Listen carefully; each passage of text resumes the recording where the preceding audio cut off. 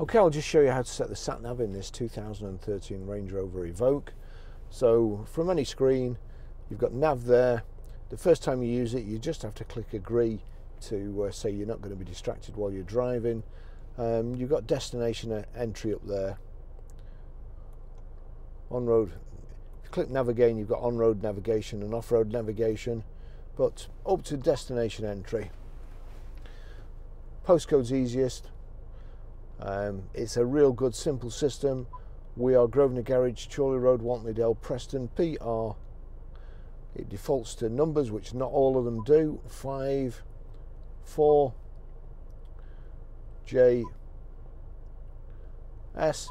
So that's PR5, 4JS. It's come up here.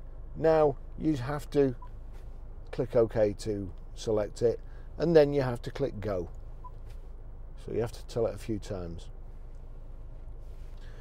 Okay, I'll just show you how to delete a mobile in this uh, 2013 Range Rover Evoque. So from any screen, if you've got no phones connected already, you just click phone and you'll see there, that'll come up with a list of whatever phones are uh, paired to the, to the audio system. So you've got Barry's iPhone there, that's the one I want to delete. Click delete. Delete Barry's iPhone 11, yes. That's it gone. Okay, I'll just show you how to pair a mobile to the Bluetooth audio system in this 2013 Range Rover Evoque. So from any screen, that's that's the home screen. If, for instance, you were on nav, you could either press phone or home and menu. Phone's the, the quickest one, but there's nothing paired at the moment, so it's saying please pair phone. If you if you click phone, search for new. So we make sure that Bluetooth is switched on we're looking out at the bottom here, click search for new. Vehicle to device, that generates a PIN number for you. So you only have to put it in one, whereas if you do it from device to vehicle, you have to put a PIN number in this one, and then you, you have to generate your own PIN number in this, and then click the PIN number in that. So it's easy doing it uh, vehicle to device. Barry's iPhone 11, click. To pair and connect phone, enter 4925 four, nine, two, five pair. Allow contacts and favourites to sync. Yep. Connecting to Barry's iPhone, Range Rover Evoque there, connected. Phone connected. So that's it. Real simple, easy uh, system to use in the Range Rover. I'll just show you how to stream music through the Bluetooth audio system in this 2013 Range Rover Evoque. So if we go to music and, and, we're in September 2020 now, they've just changed it from iTunes to music. So we go to a record and you'll see at the bottom there, quite hard to see now, it used to be in red but now for some reason it's in silver.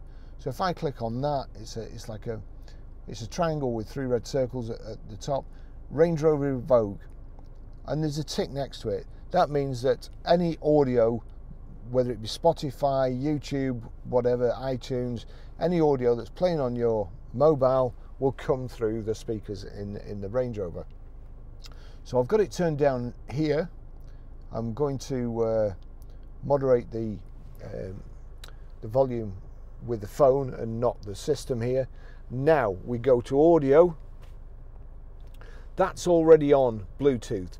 But if it's not, and it's quite possible it's not, you see there, My Music, there's a plus next to it. If we go to that, we'll just put auxiliary. So that, that's on auxiliary. So I'll, I'll just take you back again. Um, we, we, we want to play music here. We click play. We go over here to audio video, to My Music, and again, if it's not, if it, if it's not on, if it's on video, we'll just do that again because I just want to show you. See my music there, there's no plus. So what you have to do, you have to select my music, then it brings the plus up. That gives you further selections. Click the plus and then Barry's iPhone. Now, if I turn this up, I'll turn that up. Sorry. And then we'll turn it up here. That's it. That's how you stream audio. Thanks for watching.